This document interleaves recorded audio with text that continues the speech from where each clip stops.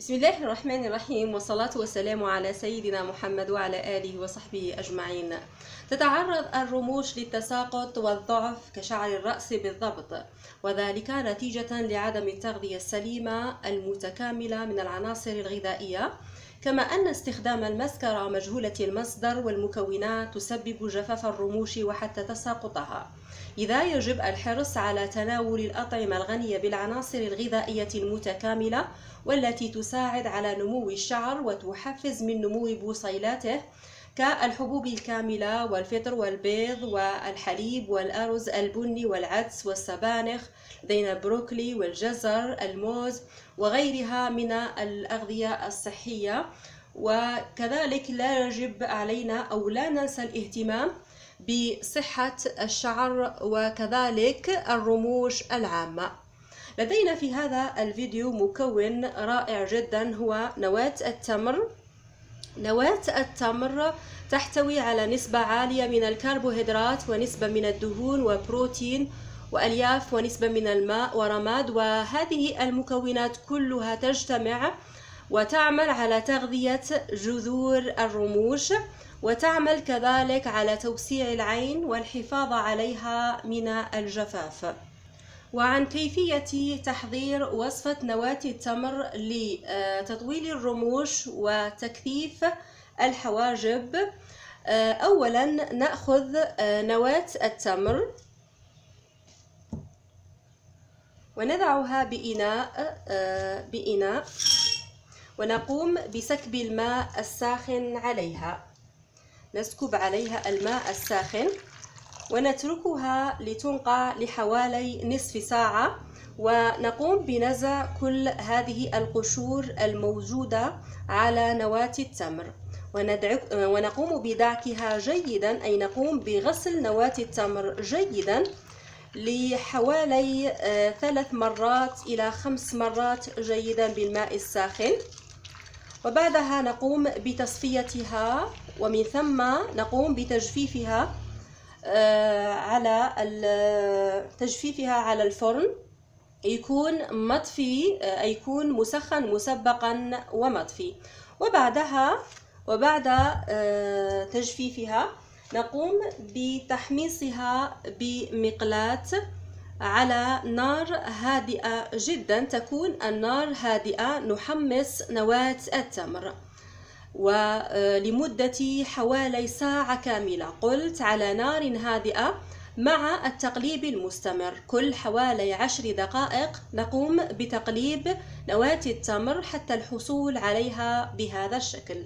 بعدها نأخذ الهاون ونقوم بدق نواة التمر.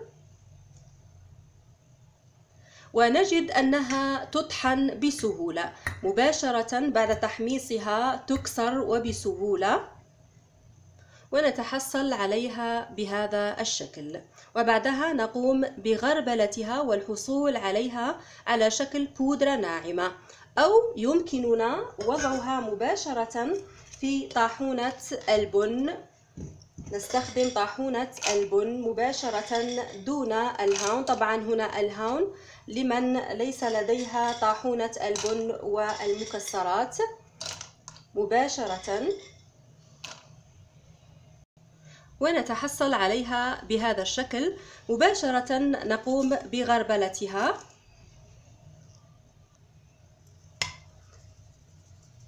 طبعا يجب الحرص على أن تكون البودرة ناعمة جدا. استخدام منخل أو شاش طبي. طريقة عمل هذه الوصفة. أول وصفة نبدأ بها هي أن نأخذ 2 ملاعق طعام كبيرة من زيت اللوز الحلو أو زيت الأرجان أو زيت جوز الهند. هنا لا أستخدم زيت الخروع في هذه الوصفة. لأن هناك الكثيرات لديهن حساسية من زيت الخروع لاستخدامه على الرموش. يسبب حبوب على الجفون وكذلك أكياس دهنية وحساسية العيون. لذا قلت اختاري زيت اللوز الحلو أو زيت الأرجان أو نختار قلت زيت جوز الهند. اثنين ملاعق طعام كبيرة. مع أربعة ملاعق شاي صغيرة من بودرة نواة التمر. بهذا الشكل ونقوم بخلط المكونات جيدا مع بعضها البعض حتى الحصول على آه، وصفة رائعة لتطويل الرموش وتكثيف الحواجب. تستخدم كذلك على الحواجب يمكننا كذلك استخدام هذه الوصفات لإنبات الشعر كذلك هي ممتازة. وبعدها وبعد المزج تحفظ في آه، قارورة. ونقوم بأخذ فرشاة المسكرة تكون نظيفة من قبل. ونستخدم هذه الخلطة على الرموش. آه، فقط نحذر أن نغلغل الزيت آه، كثيرا. أن نستخدم طبقة كثيرة من الزيت حتى لا تدخل بالعين. ونستخدمها في النهار من ساعتين إلى ست ساعات وبعدها نقوم بغسل آه، الرموش. يفضل آه، استخدام مغلى الشاي لشطف الرموش حتى نتحصل على نتيجة سريعة خاصة للمقبلات على الزواج. نستخدم هذه الوصفة بشكل يومي ومن أول أسبوع سنلاحظ نتيجة رائعة.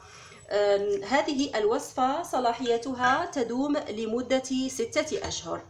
الوصفة الثانية نستخدم فيها زيت الحبة السوداء. بالنسبة لزيت الحبة السوداء نأخذ هنا كذلك 2 ملاعق طعام كبيرة من زيت الحبة السوداء ونضع بها 2 ملاعق شاي صغيرة من بودرة نواة التمر.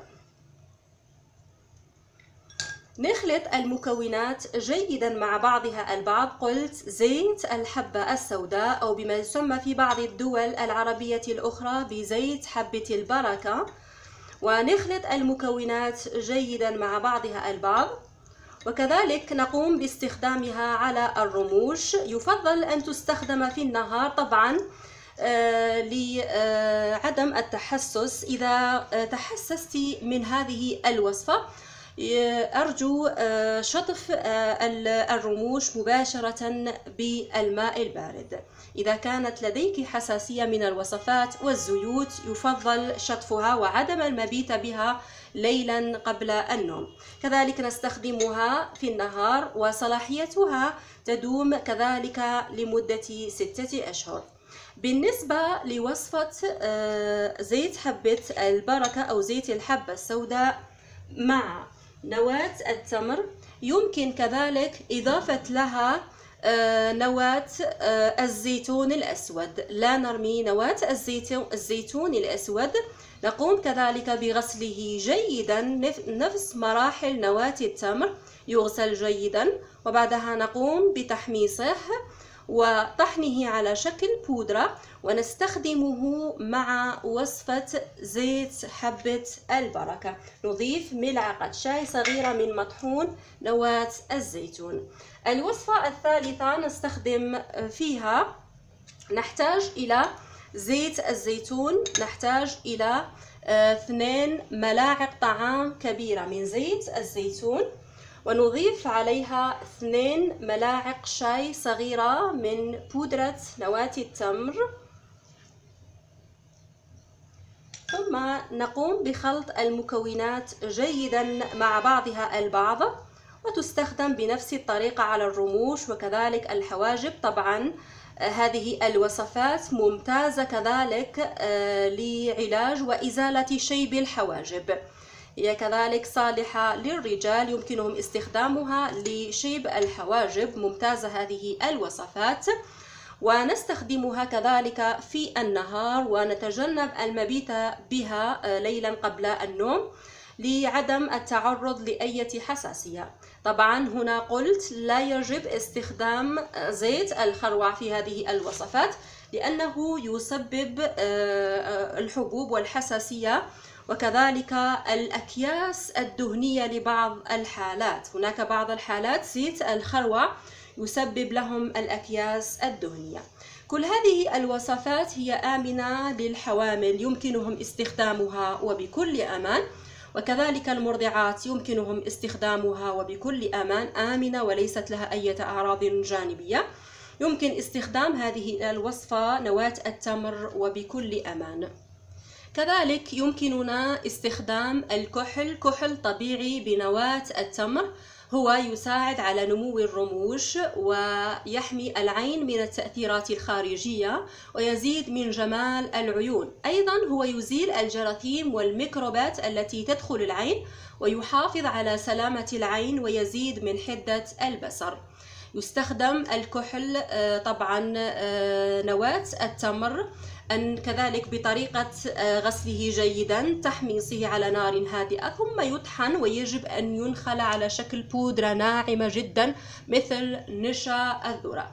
ونستخدمه ككحل كذلك يمكن وضعه على الحواجب رائع جدا لتكثيف شعر الحواجب. وبهذه الطريقة يكون آه، الكحل جاهز للاستعمال. وسيساعدك على إبراز جمال عينيك بطريقة طبيعية. بالأخير لا تنسوا مشاركة هذا الفيديو مع باقي الأصدقاء كي تعم الفائدة. أترككم في رعاية الله وحفظه والسلام عليكم ورحمة الله وبركاته.